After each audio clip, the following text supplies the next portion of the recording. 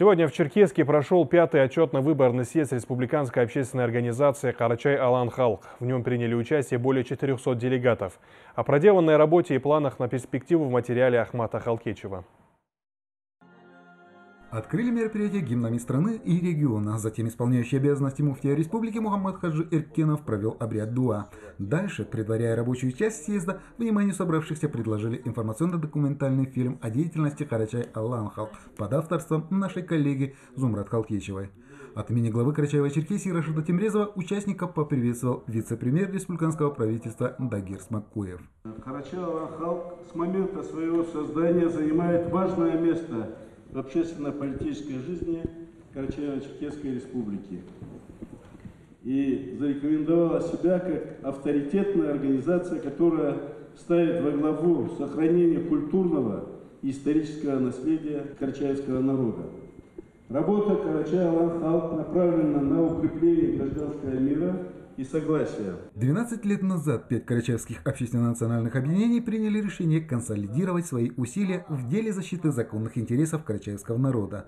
Так, в новейшей истории нашего региона появилась одна из самых многочисленных общественных организаций Карачай Аланхал. Все эти годы бессменным руководителем организации являлся Руслан Кусеевич Хабов, который на этом съезде по личным причинам попросил делегатов освободить его от занимаемого поста.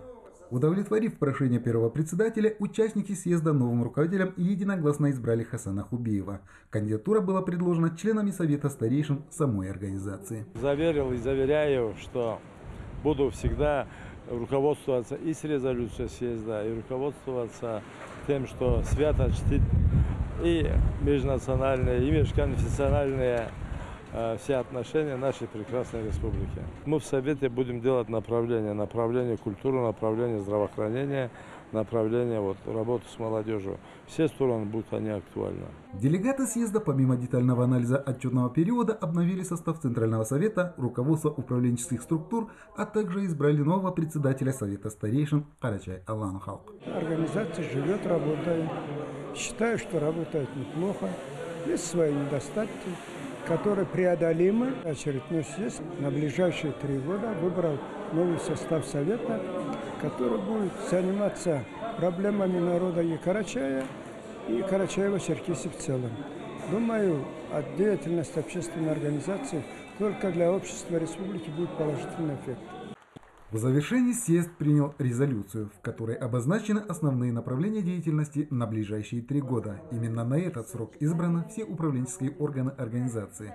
В числе приоритетных определены развитие образования, поддержка культурных инициатив, а также стратегия популяризации изучения истории карачаевского народа и сохранения карачаевского языка. Ахмад Халкичев, Али Бастанов, Вести Карачаева, Черкесия.